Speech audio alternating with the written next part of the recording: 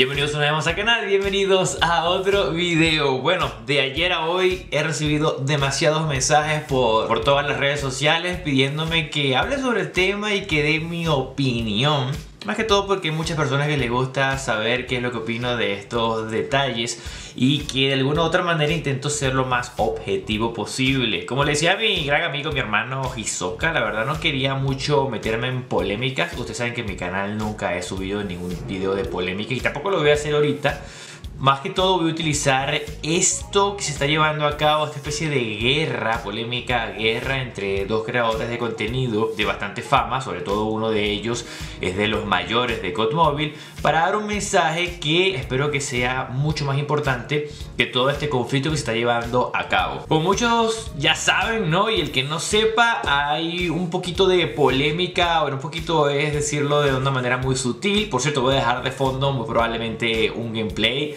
de una partidita por allí mientras voy hablando y poniéndolos en contexto.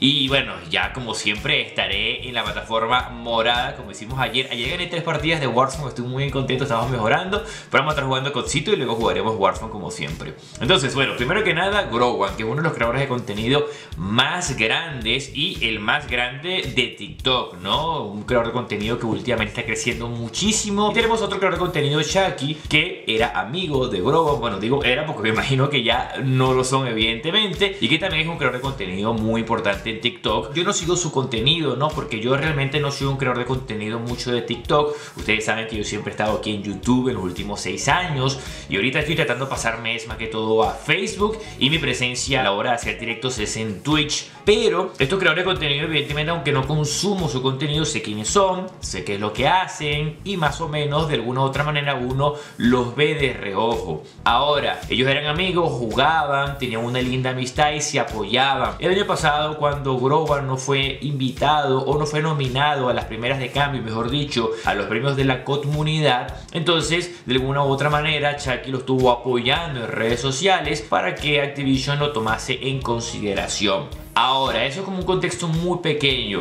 En la realidad es que el día de ayer empezaron a sacar trapitos al sol, de que, bueno, lanzándose uno para el otro, peleándose. Aparentemente, Groban se quiere como que salir de esa relación que tiene con Shaki y tal vez otras personas para limpiar un poco su imagen de cara a Activision. Algo sí fue que entendí. Porque quiero terminar las cosas bien contigo. Lamentablemente, han pasado cosas muy feas entre nosotros dos. Han pasado muchas cosas que ni siquiera te he querido decir porque... Por hipócrita. No voy a dar más contexto porque la verdad es que no hace falta. Simplemente es decir las cosas por encimita, quiénes son estos creadores de contenido y más o menos qué es lo que estoy llevando a cabo y dónde inició todo para poder entonces dar lo que quiero y es un mensaje. Lo primero, leo muchísimos comentarios y he estado viendo a muchos creadores de contenido reaccionando y hay algunas cosas que estoy de acuerdo y otras no tanto. Lo primero es que leo muchos comentarios que le dan demasiada importancia quiénes son esos creadores de contenido o por qué le están dando demasiada bola a dos creadores de contenido que están peleando, etcétera, etcétera. Hay mucha parte de la comunidad que creo que se ha vuelto un poco tóxica, puede ser, o un poco conflictiva. Esto me recuerda incluso porque algunos de ustedes saben que yo fui creador de contenido Free Fire. Pasa que fui creador de contenido Free Fire hace como 6 años atrás, 5 o 6 años atrás, por unos 6 meses. Que bueno, yo he probado todos los Battle Royale de celular, todos, todos, desde el primerito que salió, imagínense, y grabé contenido. Entonces, evidentemente, Free Fire también pasé un tiempo por él. Y se me da como que esa sensación de conflictivo de la comunidad está cayendo últimamente en el COD móvil, pero es en TikTok.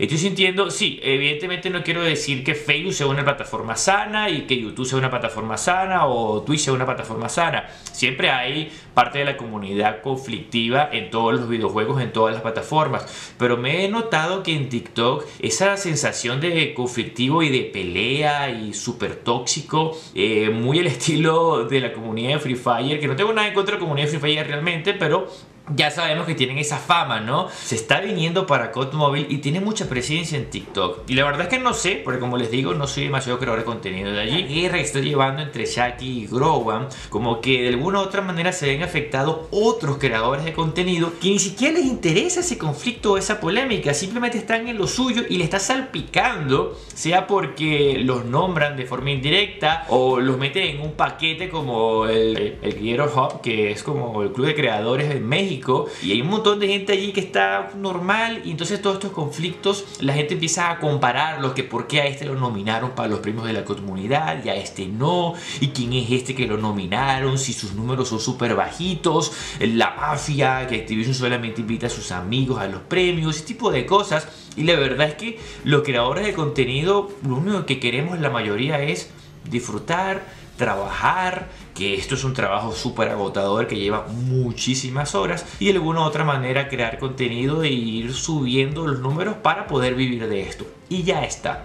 Lo otro que quería aprovechar para dar un mensaje es a estos dos creadores de contenido que dudo muchísimo que vean este video porque para ellos yo seré una hormiguita. Pero de igual manera si les llega algún mensaje o ven este video, yo les recomiendo que estos... Yo sé que las polémicas y todo esto vende, ¿ok? No quiero decir que lo estén haciendo para, para generar reproducciones eh, muy probablemente no. Pero todo esto de las polémicas, aunque vende y genera muchos números, porque ayer tuvieron directos de casi 10.000 espectadores. Me cuando me lo dijo Hisoka, yo me quedé loco. 10.000 espectadores es muchísimo. Mi récord de espectadores en YouTube fue de casi 6.000 cuando salió por primera vez el modo zombie en Codcito. Imagínense, estábamos en la cúspide del Cod móvil, era YouTube, que era como que la principal plataforma, y aún así mi máximo fue de 6.000 espectadores. 10.000 ahorita es una barbaridad. Entonces, claro, hay muchas personas que están allí pendientes del chisme y en vez de estar alimentando las mentes de todas esas 10.000 personas que se pasaron, o tantísimas, con cosas que son negativas, conflictos, tóxicos, deberíamos como que intentar que el approach o las intenciones de llevar a la comunidad sea por un camino más sano. Porque yo creo que al final, y siempre lo he dicho, es más fácil crecer juntos, es más fácil crecer con comunidades sanas que con estas películas y estas novelas. Es la primera vez como creador de contenido de God Mobile. Yo fui el primer creador de contenido de este juego, o la beta, no sé si algún creador de contenido habrá jugado en la beta, pero cuando salió semi global, perdón, en el pre-lanzamiento, yo fui el primer creador de contenido en subir un video en YouTube.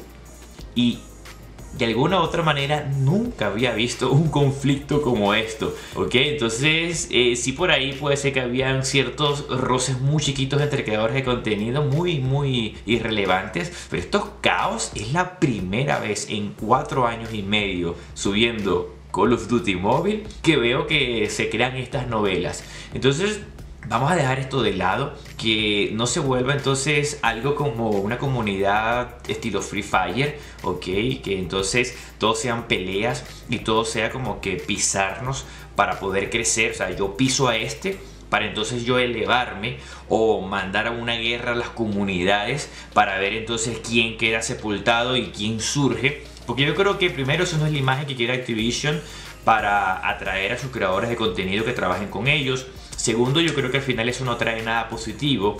Y también esa mentalidad incluso de vamos a hacer PvP o vamos a, a ver quién es mejor dentro del juego. Yo te mato en un jueguito y que soy mejor que tú. O tú me matas y eres mejor que yo. O ah, te encontré en Battle Royale y te maté. Sí, soy mejor que tú porque te logré matar en un jueguito. O sea, para no extenderme más, mi mensaje simplemente es ese. Vamos a intentar que la comunidad de COD Mobile sea la que hemos tenido durante los primeros cuatro años una comunidad muy sana, una comunidad en la que nunca veías en redes sociales que tal creador de contenido o tal comunidad de este creador de contenido está peleando con esta otra comunidad. Eh, han sido cuatro años muy bonitos, es la primera vez que estamos viviendo un conflicto como esto y espero que sea el último. Espero que todo se apacigüe, que de alguna u otra manera se calmen las cosas y que ya no tengamos conflictos como estos en el futuro porque nuestra comunidad no solamente es bastante sana, sí puede sentir que a veces, eh, bueno,